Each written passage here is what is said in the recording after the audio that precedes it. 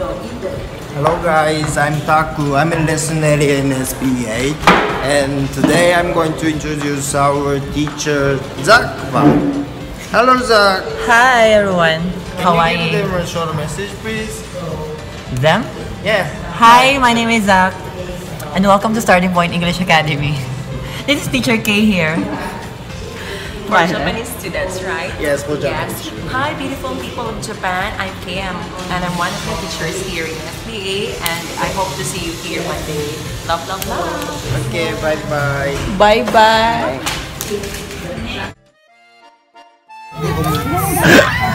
Tadaima,